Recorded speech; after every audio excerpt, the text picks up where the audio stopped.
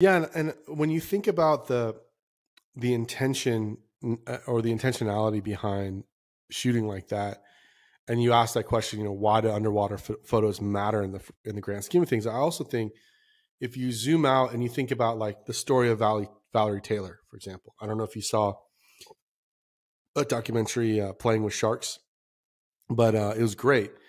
Um, but a lot of these stories, you know, Valerie Taylor, Jacques Cousteau, obviously the most famous one, you know, the inventor of the aqualung, all these things.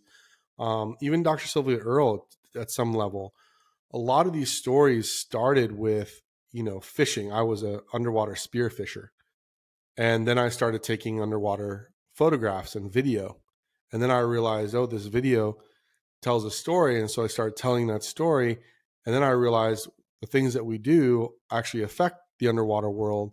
And it turned into some of the great conservationists of their time.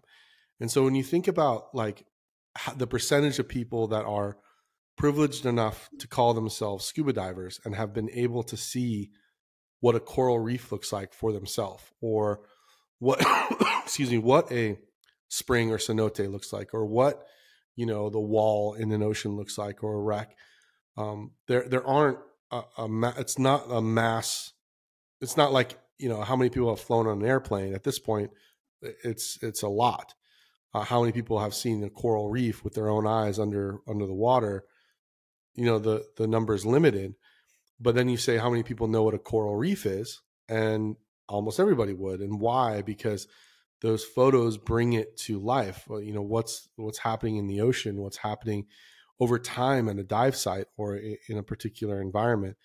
And so i think that that photos matter in the grand scheme of things because they bring others into that world into that environment into that wild that otherwise either couldn't or won't ever be in that environment.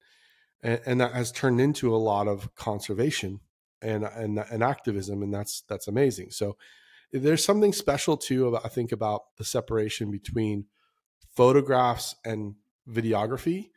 Um, i don't know why but videography feels more um, at least this is how how people described it to me when i was asking them about it was feels more that you're observing something. You know it, it's harder to put yourself in that environment. You're more observing what somebody else mm-hmm. is doing versus a photograph for whatever reason because it's still because it's limited because it's you know only the the the four you know sides of that frame feels like you can put yourself in that scene easier. Like your imagination has an easier job putting yourself in it for some reason than it does with watching a video. And i found that kind of interesting and, and as i thought about it true. So anyway my, my point being that i think that underwater photography has a has a huge role to play um, when it's used in that way to introduce people to what's happening under our water, um, what's happening in our waterways, and and leads to. I'm not saying all photographs lead to conservationism and and activism, but that certainly has been a pathway for people, and, and that's a, I think a really you know kudos to photography and, and those that get really into it to to tell those stories and show you know even if it's your small group of friends that don't dive what you see it's a cool way to invite them into into that environment that that needs us to be conscious of um, our underwater you know health and underwater um, you know ways that we impact.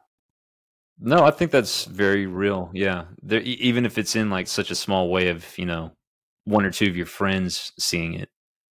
And uh, I, I think a lot of that too um, you know the local texas stuff um, because a lot of people don't realize that there's springs in the hill country that that look like Spring Lake or or uh, Landa Lake in New Braunfels, and um, it, it's always interesting to me when you post a picture of one of those areas and people ask you where you went on vacation to go take that picture or something like that. It's like, right. well, that blue waters, you know, right here. There's there's springs all over the place in the in the hill country, and a lot of people don't realize that. And, and I think that's another fascinating thing about the flower garden banks too, because a lot of people don't realize there's a coral reef off the coast of Galveston. Because the last thing when you go and look at that chocolate milk water on the the beach of Galveston, the last thing you expect to be, even if it is hundred miles offshore, the, the, last thing you would expect to be out there is is that. And uh, I've always found that kind of funny.